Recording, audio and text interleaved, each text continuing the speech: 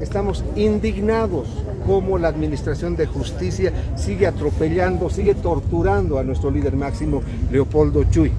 El día de ayer, después de todo un peregrinaje, de todo un calvario, hemos logrado llevar a su domicilio, de acuerdo a la orden judicial, la detención domiciliaria, hemos trasladado a Leopoldo Chuy a su domicilio. Pero hay que aclarar algo. El juez ha dado una garantía de 60 mil bolivianos. Nosotros como agrupación Jayaya y Leopoldo Chuy no está en las condiciones de conseguir ese dinero. ¿Quién tiene 60 mil bolivianos en el bolsillo? Nadie. Y hay que recordar algo, el líder de Jayaya entrega cada mes durante estos dos años su salario aquí públicamente a gente necesitada. Eso representa que no tenemos los recursos. Ahora, ¿qué es lo que nos preocupa? Si no va a entregar en el plazo de cinco días estos 60 mil bolivianos, el juez ya ha mencionado que lo quiere trasladar a Chonchocoro.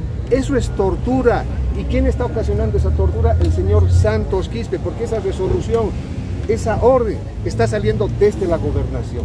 El punto es acallar hay que recordar que el artículo 151 y 152 de la Constitución Política del Estado obliga, faculta a los asambleístas nacionales, departamentales y concejales a fiscalizar. Es su trabajo, para eso votamos, para eso les elegimos y para eso el pueblo boliviano les paga, para que fiscalice.